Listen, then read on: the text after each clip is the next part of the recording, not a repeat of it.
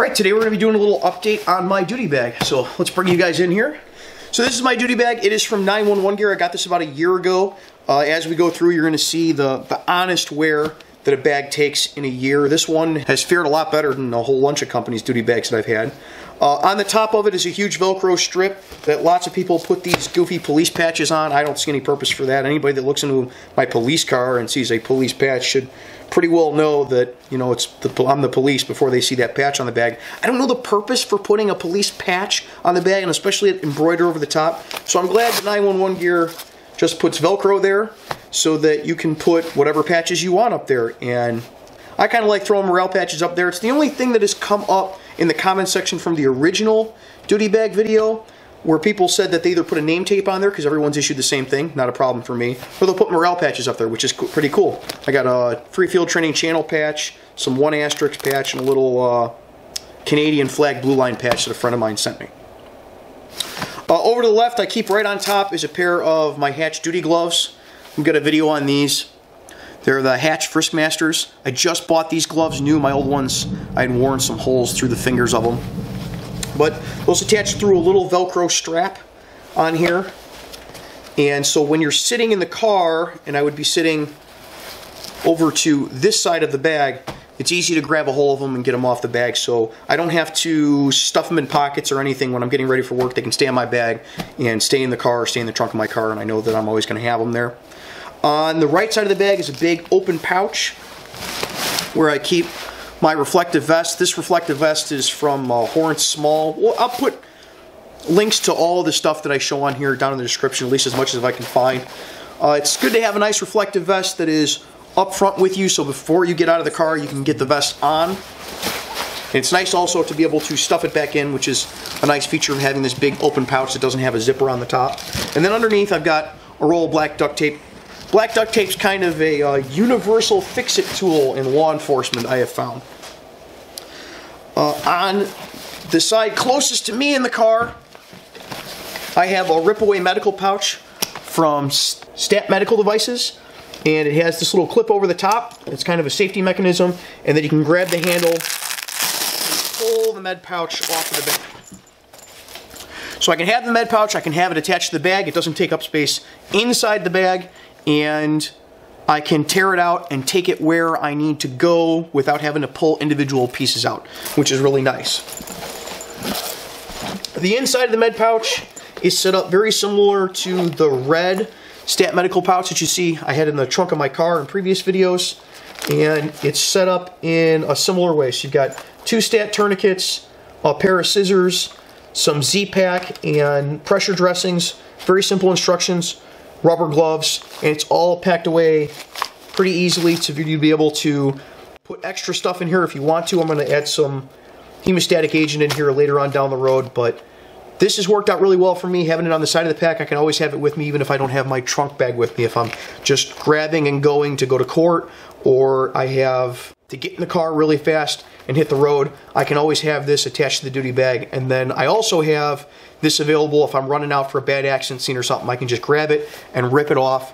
And if I have to send someone into my car to go get a medical bag, I can say, just go in my car and rip the bag off the side of my duty bag. And everyone I work with is going to know where that's at. stat tourniquet that comes with these. The two stat tourniquets are also pretty cool. I've got videos on there. You can see them up there. This has a base that mollies on to the MOLLE webbing that's on the side of the 911 gear bag here.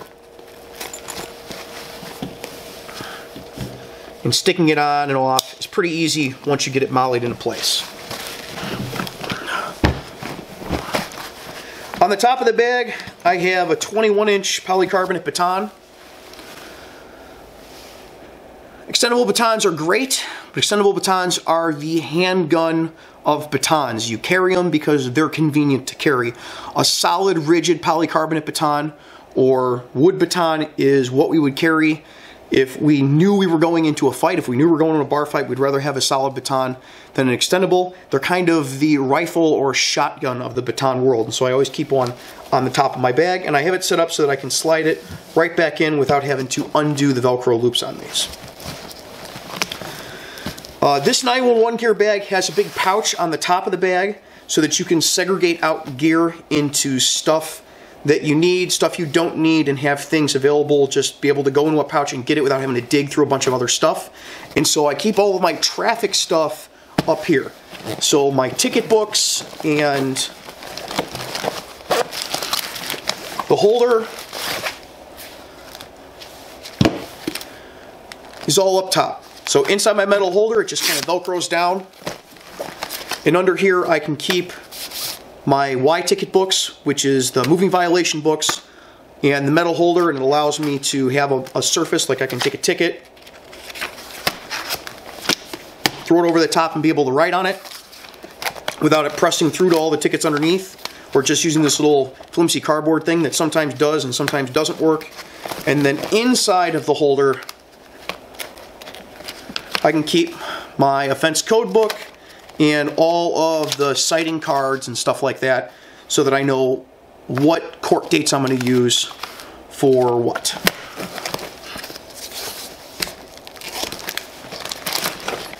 On the outside front of the bag, I have a P-ticket book. P-tickets are one of the few tickets that I actually write because people that park in handicap parking spots get on my nerves. At uh, one point in my life, I was wheelchair bound, and then I had a walker. I had uh, bilateral talipes, better known as clubfoot for some of you. And so, if you're going to get a ticket from me, chances are it's going to be a P ticket, and it's going to be for handicap parking, and that's why I keep it on the outside of my bag. Even then, it's not very much. But that's why it's on the outside of the bag.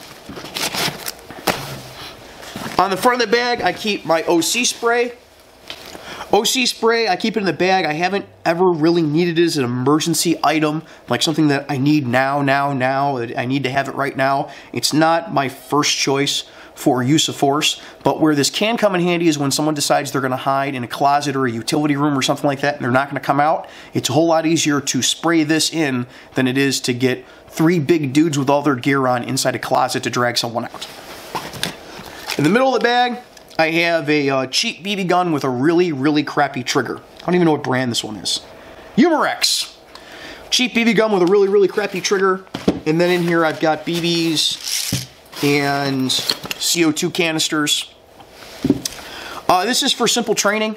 It's hard in the city to get to a legitimate range, but it's really easy to find some place in the woods or an industrial park where you can put some cans up and pop some rounds. And as a training officer, if I have somebody that's having problems with qualifying, I can take them and I can do dry fire practice and then have them shoot a little bit with the BB gun, maybe fire 20, 30 rounds until the CO2 cartridge is empty. And if they can handle the long, heavy trigger of one of these crappy BB gun triggers, uh, handling a Glock or a SIG P320 or a 226 is going to be a lot easier for them. I've had a lot of success with doing this, even though I get a lot of negative comments on the videos for saying that I do it. If it's stupid and it works, it's not stupid. Over here, I keep sunscreen because I'm bleach white.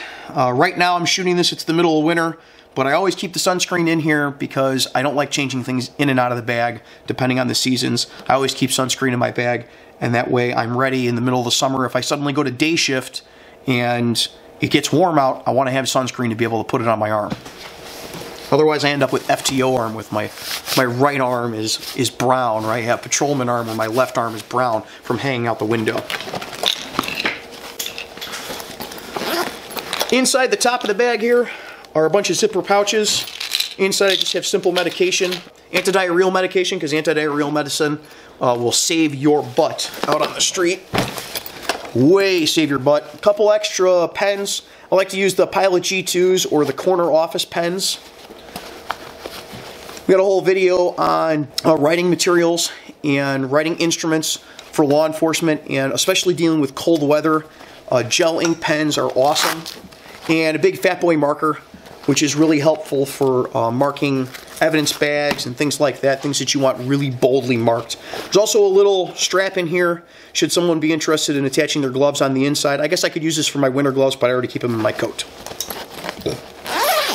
Inside the top is a big zip open pouch where I can keep uh, extra medication and personal items, toothpicks, stuff like that. Inside the front compartment of the bag, you can see it's got plastic dividers inside that divided up into a couple different containers. And inside there I have, this is a Posse Box brand. Big metal clipboard with all of my paperwork for the street inside. So in here, I have separated out into these little plastic binder containers is different types of paperwork. So I'll do one type of paperwork front, one type of paperwork back, so that I can just look at the outside of these and keep be able to keep two different forms in them and be able to always find them. And then like this one, I don't know what's supposed to be on the other side of this, but I know I'm out of it, so it's time to go look for it. When I see a blank form on the back, I know that I'm missing something and it's time for me to fill back up.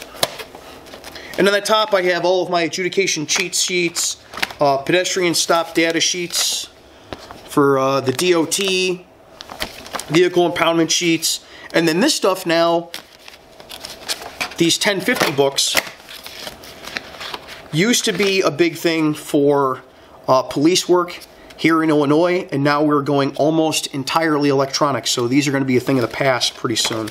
And then short order notifications, order protection short form. So somebody gets an order of protection and you have to serve them with the short form of it on the street and tell them how they can get a full copy of the order of protection. All that stuff, all the forms and things, they all go in here. So let's say I had to serve someone with a short order form order of protection.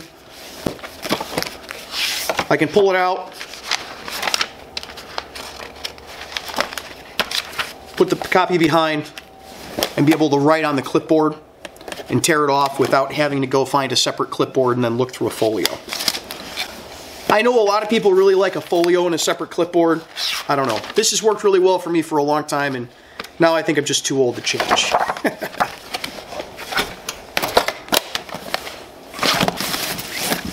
In the back area of the bag is a little tan change pouch thing.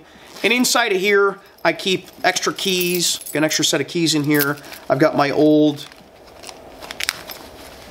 uh, calendars and old notepads and things like that. Down in the front, cheap pair of binoculars. You'd be amazed with binoculars how much you can see, especially at night, how much these help with seeing distance at night. When you're out looking for car burglars or something like that, you can park a couple blocks away from where you think they might be hanging out at and be able to see them with the binoculars and see them a lot better and get a good description out over the radio before you go to stop someone. More pens.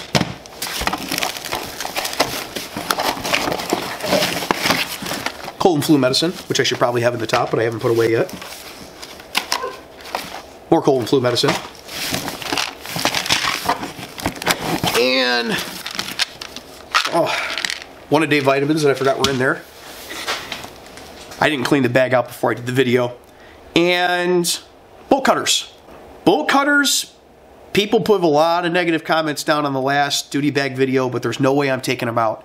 These have come in handy more times than you could possibly imagine. I go in apartments where they have padlocks on the doors of bedrooms. Like every bedroom in a three bedroom apartment has a padlock on the door. Or we see somebody's car and we're gonna search it and they have a padlocked container in the trunk or something padlocked into the trunk to keep people from getting out, getting inside of it. Or you have a house, you need to get in the backyard, you gotta snip the lock on the gate to get in. These solve a lot of problems and they solve them in a big hurry. It's nice to not have to wait around for the boss to bring out the big, long, four foot long set of bolt cutters when a little 18 or 21 inch set can get the job done on most jobs. And then down at the bottom, I've got a spare flashlight and some whiteout that should probably really be in the posse box that probably fell out. And that's about it. So that's the stuff I carry in a duty bag, as usual. I'm not saying this is the stuff you need to carry. It's just the stuff that's kind of worked out for me in the area that I'm in and the stuff that I'm doing. So, until next week, you guys be safe. Take care of each other. I'd like to thank all the Patreon supporters and especially the shift supervisor level Patreon supporters that we have listed here. Your contributions are what allows free field training to continue on and become better. Thank you.